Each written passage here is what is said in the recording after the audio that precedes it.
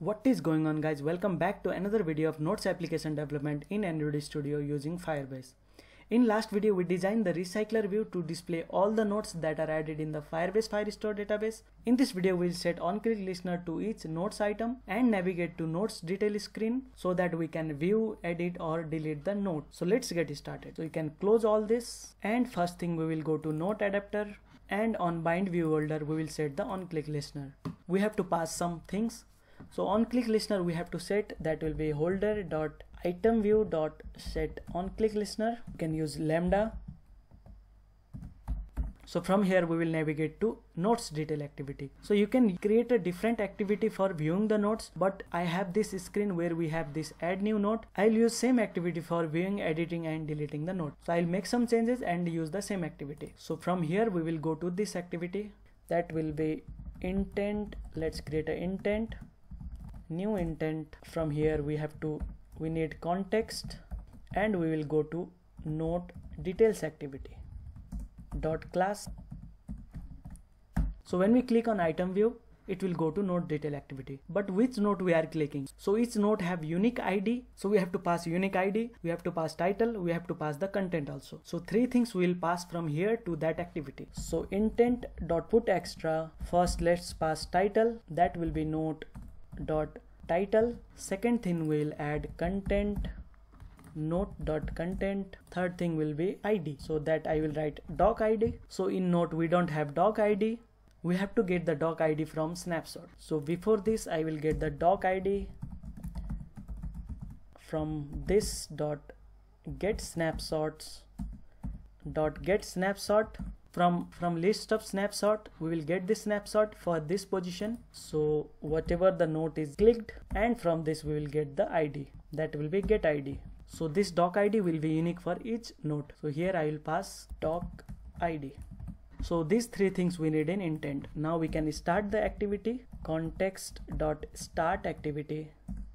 We can pass intent. So from note adapter we are done. We can click that and we can go to that activity I will run it and test it. So I will test by clicking on any of the note. I will click on this. So it took me to add new note page. That is our note detail activity. If I click on this also, it is taking to this. We have not received the title content over here. We have not setted it. We have to make change to this activity. If doc ID content and title is coming from that page, we can change the title as edit your note and we can have title content that are already there. So let's make those changes. So you can close this and go to note details activity. Here we will receive all those. Pen activity note details. So we have to change this text view that is add new note. So we have to link this text view. We have the id that is page title.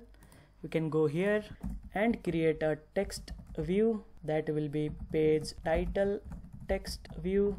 We can link the id find view by id r dot id dot page title so we have passed three things from there. We will receive those here. So string title content and doc id so these three things we will receive from that page. So after this we will receive data. Here what we will do is title equals to to receive data from intent we have to do get intent dot get string extra.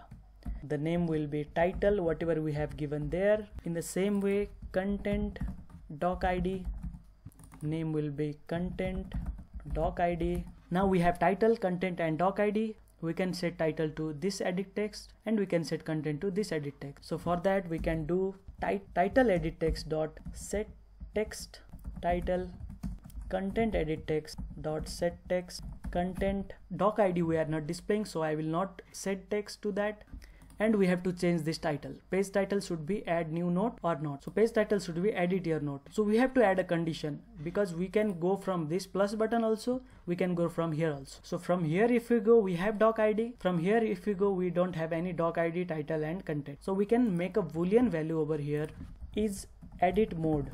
It will be by default false. If we receive doc id then we can make is edit mode as true. So here what we can do is if doc id is not equal to null and and doc id dot is empty is not empty. Is not we have to put it here so that if it is not null and it is not empty then that means is edit mode equal to true. That means we are in edit mode. That means we came from here not from plus icon. If we go from plus icon ed edit mode will be false. So here what we can do is if is edit mode we can set the title page title dot set text edit your note. So in this way if you come from there it will show edit note. Let's run it and test it. So first thing if I go from here as you can see we have edit your note the title and the content. I click on back here title content editor note. But if I click on plus over here title is empty content is empty and add new note is visible. So our logic is working fine. Now if you save this after editing if you save this after editing it will save as a new one. Because we have not provided in save note to firebase we have not provided the document reference that we have got. So it will save as a new. So how we can solve that? We can go to save note to firebase. Here document reference we are getting from here. If this is not edit mode if this is edit mode then we will do something else we will do this. So whatever we were doing it was not for edit mode so we will do this. If it is edit mode we will pass the document id this document will pass the id that we have doc id so it will update the means if it is edit mode it will update it will update the note. If it is not edit mode it will create new note. Let's run it and test the edit functionality. I will click on first note. I will change the title as edited. I will click on this. So as you can see my first note is edited. So since we have modified the note it has got the new timestamp and it has come at first. So we can add new note from here and we can edit or view note from here. So that's it for this video. In next video we will add the delete button in the edit note screen and we will delete the note using that delete button we will add functionality for the delete note and also we'll add logout option in the menu so that we can log out from the application. If you enjoyed this video, please hit the like button. If you have any doubts and queries, please comment below. I will reply for you. Don't forget to click on subscribe button before going. See you in the next video. Bye bye.